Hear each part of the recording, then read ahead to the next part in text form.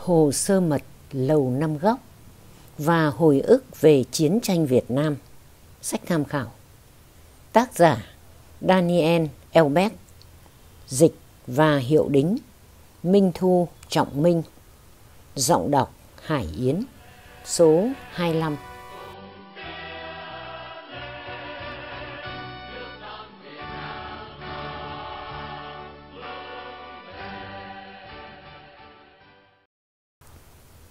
Chương 15 Đến khách sạn Pierre Trong quãng thời gian 2 năm, sau khi Lyndon Johnson quyết định không tiếp tục tranh cử Tổng thống lần thứ hai, từ thời điểm tuyên bố của ông ấy vào ngày 31 tháng 3 năm 1968 tới quyết định xâm lược Campuchia của Nixon ngày 30 tháng 4 năm 1970.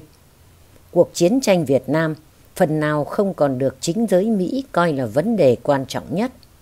Trong suốt giai đoạn đó, bao gồm cả những cuộc bầu cử sơ bộ của Đảng Dân Chủ, chiến dịch vận động tranh cử vào mùa thu và 16 tháng đầu tiên của chính quyền Nixon. Cuộc chiến tranh Việt Nam chỉ có hai lần làm dấy lên tranh luận rất ngắn gọn. Trong đại hội đề cử ứng viên Chicago và khoảng 6 tuần diễn ra hành động phản đối ầm ĩ vào mùa thu năm 1969. Sự yên lắng trong dư luận này, ngoại trừ những lần nói trên, phản ánh niềm tin bám chắc trong hoạt động chính trị Mỹ, rằng tuyên bố ngày 31 tháng 3 của Johnson, bao gồm cả quyết định của ông ta chấm dứt ném bom phần phía Bắc của Bắc Việt Nam và hướng tới đàm phán với chính phủ Hà Nội, đã tạo ra một bước ngoặt có thể thấy rõ và mang tính quyết định hướng tới việc nhanh chóng chấm dứt sự can thiệp quy mô lớn của Mỹ vào cuộc chiến ở Đông Dương. Bản thân hồ sơ lầu năm góc, bộ tài liệu tối mật mang tên Lịch sử quá trình xây dựng quyết sách của Mỹ về Việt Nam 1945-1968 phản ánh niềm tin tương tự trong những trang cuối và ngay ở tiêu đề của nó khi được McNamara khởi sự tiến hành vào giữa năm 1967. Đây chính thức được coi là một nghiên cứu có kết thúc mở, xét về nội dung và thời gian. Và công việc nghiên cứu để bổ sung cho nó vẫn tiếp tục đến đầu năm 1969. Nhưng các tác giả và những người giám sát nghiên cứu này đã quyết định ngừng hoạt động nghiên cứu khi có bài phát biểu của Johnson vào ngày 31 tháng 3 năm 1968. Việc chọn ngày này để ngừng nghiên cứu về lịch sử hoạch định quyết sách của Mỹ về Việt Nam rõ ràng phản ánh thực tế rằng những người phụ trách về nghiên cứu này, Morton H. Harperin và Lidlier Gett, dưới sự giám sát của Paul Walker, có niềm tin giống với niềm tin của dư luận khi cho rằng những quyết định được công bố vào ngày hôm đó mang ý nghĩa một sự chuyển hướng quyết định, hướng tới việc rút quân của người Mỹ. Phần kết dài ba trang ở cuối bộ tài liệu này bắt đầu bằng tuyên bố ngày mùng 3 tháng 4 của Hà Nội về việc sẽ đàm phán với Mỹ và tiếp tục bằng đoạn này. Có thể thấy, bước đầu tiên trên con đường rõ ràng là rất dài và khúc khỉu đi tới hòa bình đã được khởi động. Trong một hành động đầy kịch tính, Tổng thống Johnson đã có thời điểm đưa vấn đề Việt Nam ra khỏi hoạt động tranh luận chính trị trong nước. Đã một lúc ở đây, hóa ra là gần hai năm tiếp theo. Điều nổi bật trong quá trình kéo dài của việc niềm tin công chúng bị dối lừa rằng hòa bình đã ở gần trước mắt là ở chỗ. Mặc dù một số hình thức đàm phán và cuối cùng là thương lượng chính thức đang diễn ra xen giữa những khoảng thời gian ngưng các hoạt động. Nhưng chiến tranh diễn ra với quy mô của mức độ ác liệt không hề giảm so với trước. Sau tháng 3 năm 1968, máy bay Mỹ không còn ném bom phía trên vĩ tuyến 20 ở Bắc Việt Nam. Sau tháng 11 thì không còn hoạt động ném bom nào xuống miền Bắc Việt Nam nữa. Nhưng đây đơn giản chỉ là họ đã chuyển hướng ném bom xuống Nam Việt Nam và sang Lào và đầu năm 1969 sang cả Campuchia một cách bí mật. Trong khi tổng số lượng bom được thả xuống còn lớn hơn trước. Trong khoảng thời gian từ tháng 11 năm 1968 đến tháng 8 năm 1969, tôi đã hy vọng một cách sai lầm như bất cứ người nào khác đối với những triển vọng về một giải pháp đạt được thông qua thương lượng. Nhưng tôi có lẽ thuộc nhóm rất ít người vẫn rất lưu ý về thực tế sẽ tiếp diễn cuộc chiến trên quy mô lớn cùng với khả năng rằng cuộc chiến này có thể còn tiếp tục rất lâu, đồng thời có thể leo thang do quyết định toan tính của Washington hay Hà Nội. Cho đến ngày mùng 6 tháng 11 năm 1968, một ngày sau bầu cử, tôi quay trở lại với nỗi ám ảnh thường lệ về tình hình Việt Nam sau 10 tuần quyết tâm không nghĩ gì đến nó nữa. Tin tức sáng hôm đó cho hay, Huber Humphrey đã thất bại trong bầu cử, không có gì khiến tôi quá sửng sốt. Tôi đã bỏ phiếu cho Humphrey vì mọi lý do ngoại trừ lập trường Việt Nam, mà đây mới là mối quan tâm chính của tôi. Tôi không thấy có lý do gì để nghĩ rằng Nixon sẽ kéo dài cuộc chiến thất bại của Đảng Dân Chủ lâu hơn so với Humphrey. Có chăng thì với tư cách là một đảng viên Đảng Cộng Hòa, ông ấy có thể làm điều ngược lại. Hoạt động ném bom miền Bắc đã ngưng lại, mở ra triển vọng đàm phán thực sự. Còn Nixon thì đã công khai ủng hộ hướng đó. Ông ấy thậm chí còn mở lời ngỏ ý muốn tới Sài Gòn ngay trước cuộc bầu cử để hối thúc Thiệu đồng ý tham gia đàm phán tại Paris. Trên thực tế, lời nhận xét tệ nhất tôi được nghe về Nixon là của Henry Kissinger ở Đại học Harvard, đệ tử ruột và là cố vấn của Nelson Rockefeller.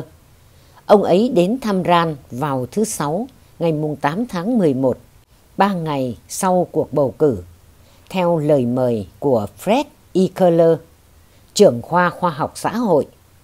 Trong cuộc nói chuyện ngày hôm đó, Kissinger bằng chất giọng đức bài bài trầm đục đã nói đi nói lại về tuyên bố mà ông ấy đã đưa ra tại Đại hội Toàn quốc chỉ định ứng viên của Đảng Cộng Hòa. Richard Nixon không phù hợp cho cương vị Tổng thống. Dường như đó là lời nhận xét lộ hơi vỗ mặt về một người đang năng nổ trong hoạt động chính trị của Đảng Cộng Hòa. Nhất là giờ đây khi Nixon đã được bầu làm Tổng thống. Tuy vậy, điều đó không ngăn được Kissinger nhận lời mời của Nixon vài tuần sau đó làm trợ lý đặc biệt về an ninh quốc gia. Đây là một trong những lần thăm đầu tiên đến Ran sau một thời gian dài quan hệ lạnh nhạt kể từ cuối năm 1950 do việc Ran chỉ trích chủ trương của ông ấy, coi việc sử dụng chiến tranh hạt nhân hạn chế là những công cụ phục vụ cho chính sách của Mỹ, được thể hiện trong cuốn sách năm 1957 của Kissinger, mang tên Vũ khí hạt nhân và chính sách đối ngoại. Chủ đề này đã thu hút sự chú ý tích cực hơn từ phía Nixon, khi đó đang là phó tổng thống. Một bức ảnh trên trang nhất của tờ New York Times, trong đó Nixon đang cầm cuốn sách trên tay và tên cuốn sách được in rõ khi ông ấy bước vào tham dự một cuộc họp của Hội đồng An ninh Quốc gia. Tôi nhớ lúc đó mình đã nghĩ đó là một kiểu quảng cáo sách lạ thường. Nhưng cả Nixon và Kissinger đều không có những phát biểu công khai tích cực về vũ khí hạt nhân trong nhiều năm qua. Trong những năm gần đây, Ekeler đã kết bạn với Kissinger và hàn gắn lại quan hệ giữa ông ấy với Ran. Còn về vấn đề Việt Nam, tôi có ấn tượng khá tốt với Kissinger kể từ hồi diễn ra những cuộc tranh luận ở Sài Gòn năm 1965 khi ông ấy đến thăm đại sứ Lốt trong vai trò một chuyên gia tư vấn. Dường như Kissinger đã trở lại với cảm giác này. Trong buổi nói chuyện hồi tháng 11 năm 1968 tại RAN, ông ấy có nói với đội ngũ nhân sự của RAN, trong đó có tôi, rằng tôi biết được nhiều điều nhờ vào Dan Elbeck hơn bất kỳ người nào khác ở Việt Nam. Thật thú vị khi được nghe nhận xét đó trước sự có mặt của các đồng nghiệp. Kissinger có thói quen cố hữu là khen phô một ai đó ngay trước mặt họ. Tôi đã đoán được điều ông ấy muốn nói tới. Đó chẳng phải là những thông tin cụ thể mà tôi cung cấp cho ông ta trong những buổi chúng tôi nói chuyện với nhau ở Sài Gòn vào tháng 10 năm 1965. Khi đó tôi chưa phải là chuyên gia về Việt Nam, mới đến Sài Gòn trước đó có vài tháng. Mà nhiều khả năng đó là ý kiến cố vấn có đôi chút hữu ích về cách thức tìm hiểu tình hình ở Việt Nam mà tôi đã dành cho ông ấy. Kissinger đã bắt đầu bằng việc đặt một câu hỏi hay. Làm thế nào để thông tin cho ông ấy một cách nhanh chóng? Tôi đã nói với ông ấy tránh lãng phí thời gian tại các cuộc báo cáo tình hình chính thức hay nói chuyện với ai đó khi các sếp của ông ấy đang có mặt. Thay vào đó, nên tìm kiếm những người đã ở lâu tại Việt Nam, những người được cho là hiểu rõ tình hình, nhất là những người nói được tiếng Việt, có bạn bè là người Việt, am hiểu và có khả năng đi lại ở vùng nông thôn cũng như các thành phố. Ông ấy nên nói chuyện riêng với họ, hỏi họ để biết tên của những người khác mà họ kính trọng và sau đó tìm cách nói chuyện với những người đó. Đặc biệt nên hỏi tên của những người Việt Nam cần gặp để nói chuyện. Tôi đã từng may mắn nhận được lời khuyên như vậy khi mới đến Việt Nam và việc đó đã giúp tôi rất nhiều. Tôi đưa cho ông ấy một danh sách những người Mỹ và người Việt Nam để bắt đầu công việc nắm tình hình. Tôi nói với ông ta rằng trong chừng mực những gì tôi nghe được, McNamara không bao giờ làm bất cứ điều gì trong số những điều này trong những chuyến công du thường xuyên đến Việt Nam. Bộ trưởng Quốc phòng tham dự những cuộc báo cáo tình hình chính thức và nói chuyện với quan chức chóp bu. Còn khi ông ấy gặp các cố vấn hay chỉ huy cấp dưới, thì bao giờ cũng có mặt các chỉ huy cấp tướng của họ. Theo tôi biết, thì dường như Kissinger không bao giờ nhận thức được rằng cung cách làm việc như thế sẽ khiến ông ta bị ảnh hưởng ra sao. Đại sứ quán và Bộ Chỉ huy Viện trợ quân sự Mỹ tại Việt Nam sẽ thao túng đưa thông tin về ông ấy như thế nào hay ông ta đang bị lừa dối ở mức nào. Điều tương tự cũng áp dụng với hầu hết các nhân vật cấp cao khác sang nắm tình hình. Tôi có ấn tượng, Kissinger thực sự đã làm mọi việc dựa theo ý kiến cố vấn của tôi chứ không giống những người khác khi nhận được ý kiến cố vấn tương tự. Kissinger thực sự đã đến gặp những người tôi gợi ý và chỉ qua đôi ba cuộc gặp gỡ ngắn ngủi, ông ấy đã nắm bắt được rất nhiều thông tin. Ông ấy là một người biết đặt câu hỏi sắc sảo và là người biết lắng nghe, ghi chép lại mọi thông tin. Từ lâu trước đó, Kissinger đã có thái độ hoài nghi và bi quan rất thực tế, nhất là về năng lực và triển vọng thành công của chính quyền Sài Gòn. Vào năm 1967 và 1968, tôi đã cùng Kissinger tham dự các hội nghị về Việt Nam, nơi ông ấy bày tỏ một quan điểm đi trước rất xa so với quan điểm của bất kỳ chính trị gia chóp bu nào khác ở thời điểm ấy. Ông ấy lập luận rằng mục tiêu duy nhất của Mỹ ở Việt Nam là cần phải có một hình thức bảo đảm nhất định cho cái mà ông ấy gọi là khoảng chuyển giao hợp lý từ thời điểm Mỹ rút đi đến thời điểm Cộng sản tiếp quản, để nhờ đó Mỹ có thể rút quân mà không phải hứng chịu cảm giác nhục nhã do sự thất bại rõ như ban ngày của những mục tiêu trước đây. Kissinger không nêu rõ là khoảng chuyển giao như vậy sẽ kéo dài trong bao lâu. Hầu hết mọi cuộc bàn luận dường như đều đề cập một khoảng thời gian từ 6 tháng đến 2 năm. Không mấy ai có thể hình dung được rằng những người cộng sản đợi lâu hơn thời gian đó và một chính phủ có sự tham gia của họ có thể trụ vững lâu hơn khi quân Mỹ đã rút đi làm thế nào chúng ta có thể trì hoãn trong thời gian lâu đến như vậy. Cơ sở lập luận của Kissinger là Bắc Việt Nam sẽ bị thôi thúc phải rút quân theo giải pháp thương lượng là hai bên cùng rút quân. Việc đó sẽ giúp chính quyền Sài Gòn và quân lực Việt Nam Cộng Hòa chỉ phải đối phó với mặt trận dân tộc giải phóng. Với việc chúng ta tiếp tục viện trợ khí tài và tài chính, họ sẽ đủ khả năng trì hoãn sự thắng lợi của Cộng sản thêm một hai năm nữa hoặc cũng có thể thỏa thuận với Cộng sản để kéo dài thêm chừng đó thời gian. Trong lúc đó, họ sẽ có đủ thời gian để chuẩn bị cho một chính quyền mới bằng việc bắt chước hoặc tìm ra một cách thức mới cho thành phần tham gia chính quyền. Liệu Hà Nội có đồng ý với giải pháp cả hai bên cùng rút quân không? Vào năm 1969 và sau đó, câu trả lời có thể thấy được là không. Trong 6 năm tiếp theo, miền Bắc chưa bao giờ thể hiện là sẽ chấp nhận điều đó. Nhưng vào năm 1968 thì tôi cũng như những người khác không thể nhận thấy rõ câu trả lời đến như vậy. Lời đề nghị đó chưa từng được nêu ra trong đàm phán. Trên thực tế cũng chưa có hoạt động đàm phán nghiêm túc nào và dường như có mức độ ngụ ý đủ để phía Bắc Việt Nam hiểu rằng ít ra là cũng có cơ hội để họ chấp nhận điều đó. Do vậy, việc đưa ra đề xuất này dường như là sự khởi đầu thích hợp để tiến hành đàm phán. Cũng như vào năm 1967, những lời kêu gọi Mỹ đơn phương rút quân toàn bộ dù là rút dần dần hay ngay lập tức, chủ yếu đến từ những nhân vật trí thức cấp tiến như Howard Zinn hay Now Chomsky, người tôi bắt đầu tìm hiểu.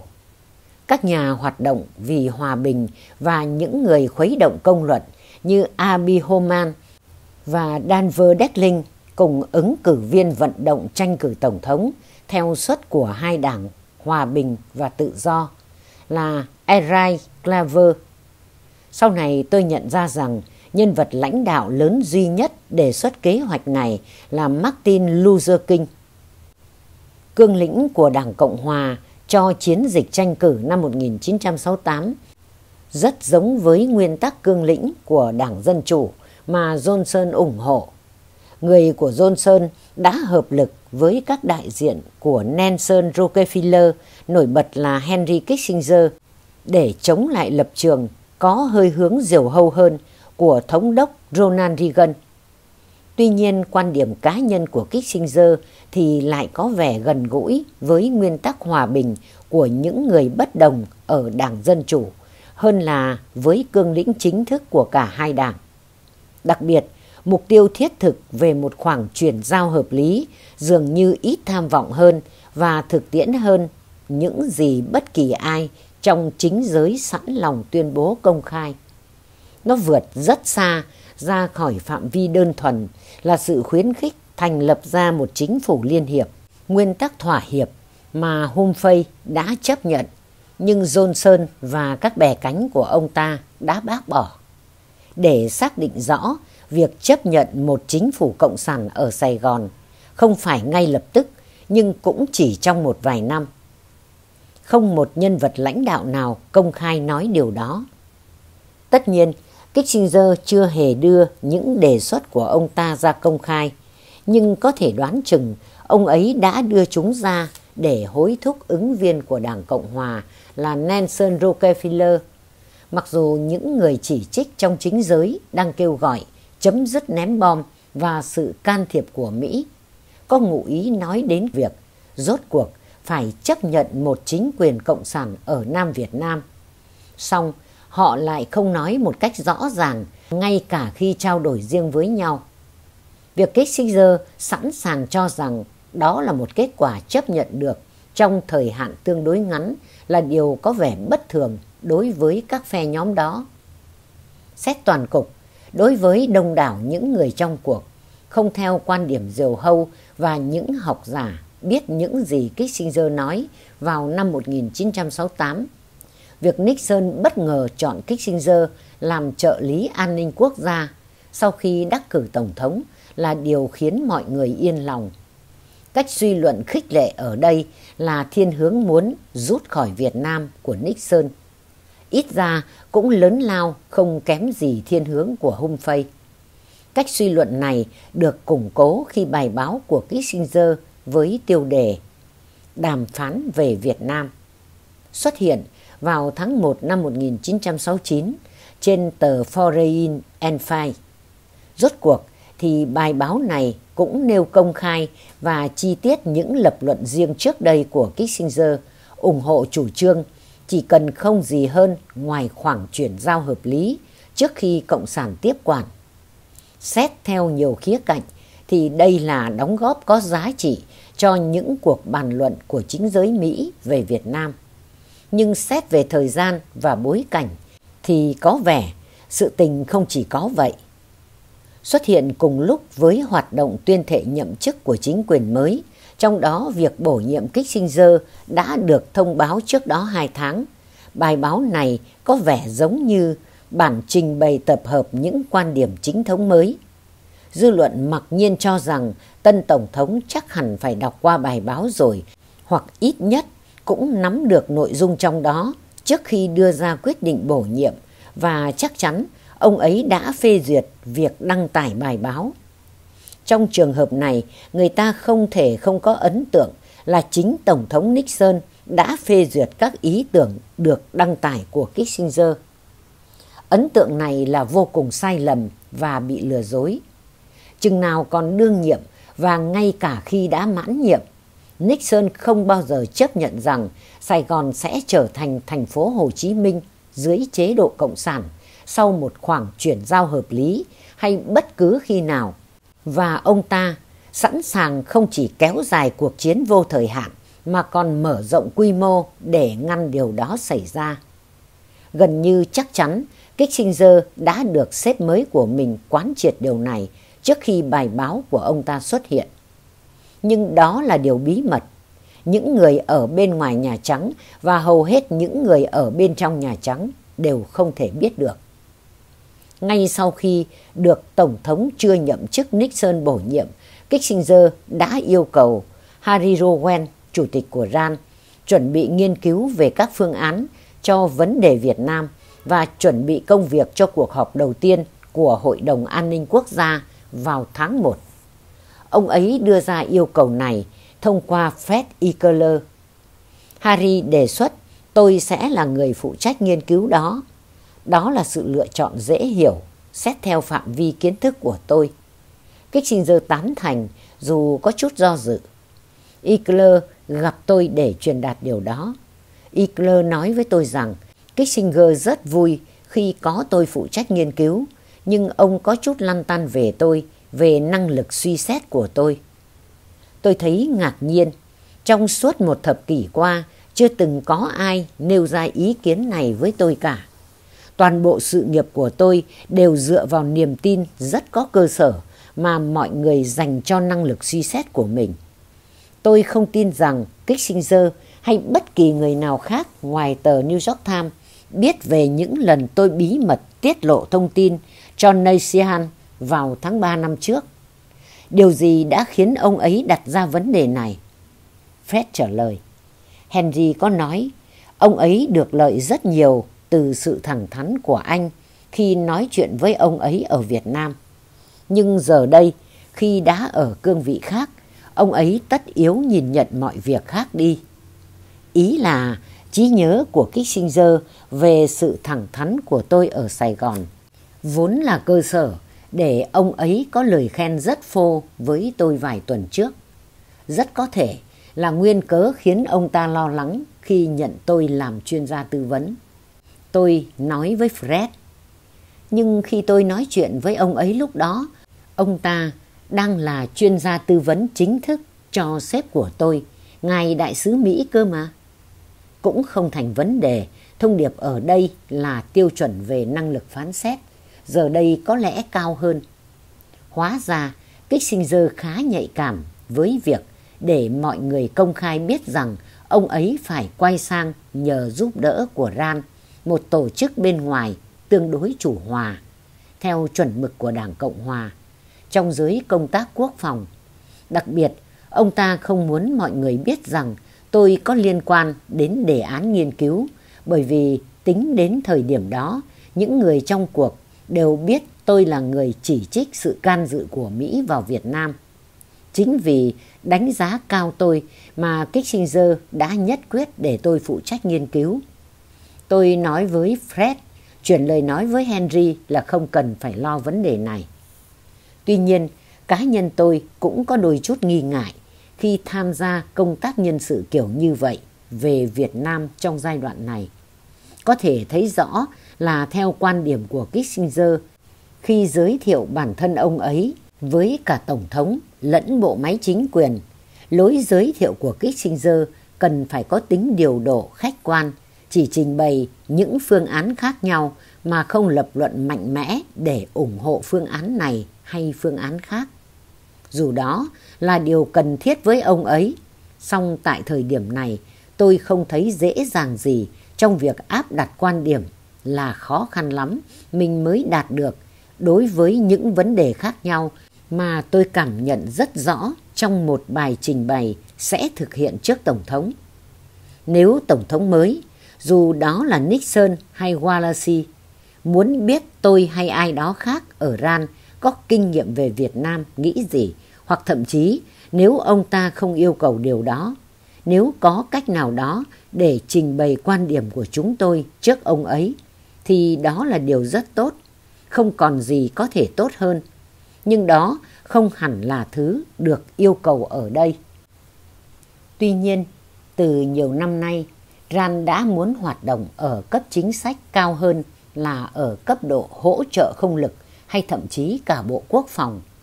Đây là cơ hội thực sự đầu tiên RAN có để làm việc trực tiếp với Nhà Trắng, giúp cho Kissinger có thể mở ra những cánh cửa cho RAN. Tôi cũng muốn giúp được gì đó cho Harry, mặc dù tôi cũng có chút nghi ngại về việc trình bày một cách ngay thẳng. Theo cách tôi cho là hợp lý. Một số cách tiếp cận mà tôi tin rằng là những cái bẫy nguy hiểm. Bên cạnh đó, tôi chợt nghĩ trong đầu rằng, ngay cả nếu tôi có phải bảo đảm công bằng hơn mức độ tôi muốn khi nêu ra trong bài trình bày của mình những thuận lợi và bất lợi, thì việc được phụ trách đề án nghiên cứu này vẫn mang đến cho tôi những lợi thế. Tôi có thể bảo đảm rằng những yếu tố bất lợi của việc leo thang và yếu tố thuận lợi của các phương án hòa bình sẽ được trình bày một cách thỏa đáng, đầy đủ và mạnh mẽ hơn so với mức độ trình bày của các nhóm khác. Chẳng hạn, một nhóm làm việc bao gồm các sĩ quan quân đội chịu áp lực tuân lệnh quân sự hoặc các nhân vật cao cấp trong Hội đồng Tham mưu trưởng Liên quân GCS. Xác định những phương án chiến lược, phản ánh các mục tiêu và các quan điểm khác nhau. Theo cách sẽ được những người chủ trương vận động chúng coi là phản ánh chính xác quan điểm của họ. Từ lâu là chuyên môn của tôi, tại RAN và trong chính phủ. Đó là một lý do khác cùng với kinh nghiệm của mình về Việt Nam và Washington, khiến tôi trở thành điều phối viên hợp lý của đề án nghiên cứu này. Nhưng ở một điểm, khi liên quan đến việc xác định toàn bộ các phương án, thì tôi có lập trường rất mạnh mẽ. Có một người tại một trong những cuộc họp thống nhất chương trình ban đầu mà tôi chủ trì, nói rằng để đảm bảo tính hoàn chỉnh thì chúng ta ít nhất nên nhấn mạnh đến khả năng sử dụng vũ khí hạt nhân. Tôi nói không, chừng nào tôi còn có chút gì đó liên quan đến đề án nghiên cứu này. Tôi sẽ không tham gia ký kết vào bất kỳ tài liệu nào gợi ý sử dụng vũ khí hạt nhân theo bất kỳ cách nào với bất kỳ trường hợp có thể nhận thức nào được xảy ra ở Việt Nam. Không ai còn nêu lại vấn đề này nữa và từ hạt nhân không còn xuất hiện trong bất kỳ dự thảo nào của đề án nghiên cứu. Sẽ có một chính quyền mới, một đảng mới lên nắm quyền sau 8 năm. Cuộc tổng tiến công Tết Mậu Thân năm 1968 đã làm suy yếu những giường cột của chiến lược Westmoreland và Bộ trưởng Clifford đã đặt ra mức giới hạn trần đối với số lượng quân. Đàm phán chính thức đang dục dịch được tiến hành đất nước này đã sẵn sàng, đang yêu cầu và trông đợi những thay đổi về đường lối. Quan điểm áp đảo về những gì cần làm là tiến hành mọi thứ theo hướng rút quân. Nhưng làm bằng cách nào, với tốc độ nào và với lý do căn bản nào? Tôi đi Washington trong hơn một tuần để kiểm tra những cơ sở cung cấp thông tin của mình tại Lầu Năm Góc và Bộ Ngoại giao. Tôi đọc các bức điện tín, bản đánh giá ước lượng và nói chuyện khá lâu với Móc Haperin, Led Gern và một số những người khác để thu thập ý kiến về những gì mà một vị tân tổng thống cần đến nhất. Tôi có thể kết luận rằng những gì ông ấy cần nhất là được cảnh báo về sự chia rẽ trong suy nghĩ trong nội bộ các quan chức đã trở nên sâu sắc hơn và hệ thống hơn so với mức vẫn thường thấy nhiều năm nay. Vào buổi chiều trước ngày Giáng sinh năm 1968, tôi đưa tập bản thảo cuối cùng của tài liệu về các phương án cho các thư ký tại RAN để họ đánh máy. Sau khi thỏa thuận với vợ cũ của mình, tôi dành đêm trước Giáng sinh để chơi với hai con. Tôi tặng quà cho chúng tại Malibu đêm đó.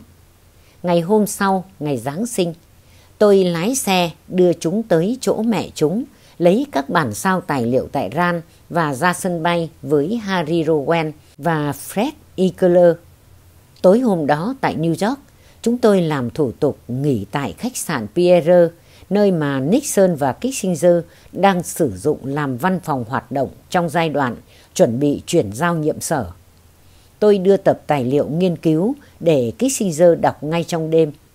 Tôi có kế hoạch trao đổi công việc với ông ấy vào ngày hôm sau. Sáng hôm sau, trong phòng khách sạn mà Henry sử dụng làm văn phòng làm việc, tôi đã thảo luận với ông ấy từng trang một trong số 72 trang tài liệu nghiên cứu. Fred và Harry không có mặt ở đó. Nhưng Kissinger đã mời Tom Stanley tới New York để cùng tham gia việc này. Stanley là giáo sư kinh tế tại trường đại học Harvard, có ảnh hưởng lớn đến tư duy của tôi về thuyết thương lượng. Ông ấy từng là cố vấn chính thức cho luận văn tiến sĩ về đề tài tính bất định của tôi. Giờ đây, ông ấy cũng là một chuyên gia tư vấn tại RAN và trở thành bạn thân của tôi. Tôi đã không biết Kissinger và Sterling lại thân nhau tới mức độ đó. Hóa ra, Sterling lại là người đặt nhiều câu hỏi hơn Kissinger. Một trong những nhận xét đầu tiên của ông ấy là Gian, anh không có chiến lược để giành chiến thắng ở đây. Một chiến lược mà bản thân anh cho rằng có thể áp dụng để chiến thắng. Thực ra mà nói, ba chiến lược quân sự đầu tiên mà tôi đưa ra được nhìn nhận là nhắm tới thắng lợi thông qua thương lượng với hay sự lụi tàn dần của Cộng sản. Và niềm tin của những người chủ trương áp dụng chiến lược đó vào khả năng chiến thắng trong những giai đoạn dự kiến khác nhau đã được giải thích rất rõ ràng. Nhưng hiển nhiên là tôi không hề có niềm tin vào những dự đoán này hoặc những giả thuyết làm cơ sở cho những dự đoán đó hay các chiến lược đi kèm với mỗi khả năng dự đoán. Tom nói, tôi thấy có vẻ khi anh trình bày một loạt những phương án trước Tổng thống mới, anh phải thiết kế cho ông ấy một chiến lược mà anh nghĩ sẽ đem lại chiến thắng, cho dù anh có thể không đề xuất áp dụng chiến lược đó vì nó quá tốn kém hoặc quá nguy hiểm, hay vì một lý do nào khác. Anh sẽ nói, đây là những gì chúng ta phải làm để chiến thắng, ngay cả khi anh không nghĩ là ông ấy nên làm điều đó. Tôi nói, nhưng tôi không tin có một cách nào đó để giành chiến thắng. Nó không hề tồn tại. Một số người nghĩ rằng họ có thể làm được điều đó và tôi đã trình bày rõ những cách tiếp cận của họ. Nhưng cá nhân tôi cho rằng họ chỉ đang tự huyễn hoặc bản thân. Tôi không tin rằng hy vọng của họ là thứ gì đó hơn là những ảo tưởng. Không thấy ai nói gì. Theo tôi biết, Kissinger đã từng có những kết luận tương tự. Tôi nói tiếp, ta có thể đưa một triệu quân vào Nam Việt Nam, hay có thể là hai triệu, và ta có thể đảm bảo nơi đó yên ắng, chừng nào ta còn có mặt ở đó, cho đến khi họ rút quân. ta có thể xâm lược Bắc Việt Nam giống như người Pháp, và sẽ có một cuộc chiến tồi tệ gấp 5 lần những gì chúng ta đã có. Ta có thể đuổi những người Cộng sản qua biên giới sang Lào và Trung Quốc và tiếp tục đánh đuổi họ ở đó. Nhưng ta có thể đuổi theo họ bao xa và trong bao lâu. Và ta có thể giết tất cả mọi người bằng vũ khí hạt nhân. Tôi không gọi đó là chiến thắng. Tôi nói thêm, trên thực tế nếu có cái gì đó còn sống sót thì có thể đó là bộ máy kiểm soát của Đảng Lao động Cộng sản Việt Nam với khả năng điều hành hoạt động từ Lào hay Trung Quốc nếu cần thiết. Sterling không cố tình nhấn sâu vào điểm này, nhưng ông ấy đã đưa ra một ý kiến chỉ trích khác có tính thuyết phục hơn. Ở đây chưa thấy nói gì tới các mối đe dọa. Anh không có chiến thuật dựa vào đe dọa. Tôi vô cùng sửng sốt. Cả Sterling và tôi đều là các nhà phân tích về thuyết thương lượng và đe dọa. Và ông ấy còn là thầy của tôi. Việc đích thân ông ấy chỉ ra phần bỏ sót này của tôi khiến tôi rất bối rối. Tôi nói, đúng thế ạ. Tôi thấy rất khó tin rằng những đe dọa leo thang mới sẽ có tác động với họ. Chúng ta thực sự đã ném bom họ trong ba năm nay và việc đó không hề mang đến cho chúng ta sức mạnh thương lượng. Tuy nhiên, tôi vẫn đưa vào nghiên cứu những phương án khác mà Lầu Năm Góc ưa thích, tuy tôi nghĩ nó sẽ không có tác dụng gì cái trình giờ cuối cùng cũng lên tiếng. Làm thế nào ta có thể tiến hành hoạt động ngoại giao mà không đe dọa leo thang? Thiếu việc đó thì sẽ không có cơ sở để đàm phán. Tôi nói, vâng Henry, có rất nhiều cuộc đàm phán, hoạt động thương lượng diễn ra trên thế giới mà không cần đe dọa ném bom. Nhưng tôi đã chấp nhận luận điểm của Tony. Tôi nói, sẽ đưa phương án đe dọa vào bản thảo lần tới. Tôi đã làm việc để bổ sung phương án đó đến hết ngày hôm đó. Chuyển sang ngày tiếp theo và nộp tài liệu vào buổi chiều. Nguyên Nguyên Việt Nam trân trọng cảm ơn quý vị và các bạn đã quan tâm theo dõi. Xin kính chào tạm biệt và hẹn gặp lại.